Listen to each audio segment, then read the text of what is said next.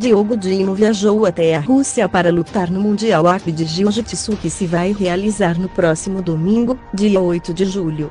O lutador aproveitou e levou Carolina com ele. Carolina Loureiro e Diogo Dino viajaram até a Rússia, esta quinta-feira, dia 5 de julho. O ex-namorado de Beatriz Ramos Moniz vai lutar no Mundial AP de Jiu-Jitsu na Rússia, no próximo domingo, dia 8 de julho.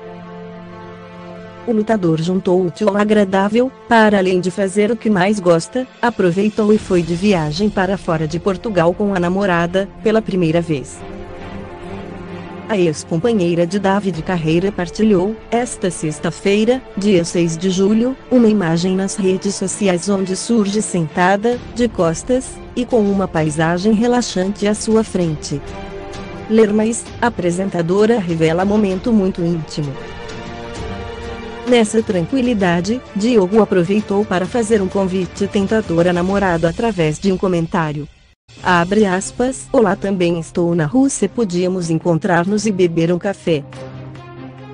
B-E-I-J-O, fecha aspas, escreveu em jeito de brincadeira. Uma das fãs do casal respondeu ao lutador pedindo para que se casassem, abre aspas, casem-se, PFF, fecha aspas. Diogo foi uma das pessoas a gostar do que a seguidora escreveu, já Carolina não reagiu a nenhum dos comentários feitos na sua imagem.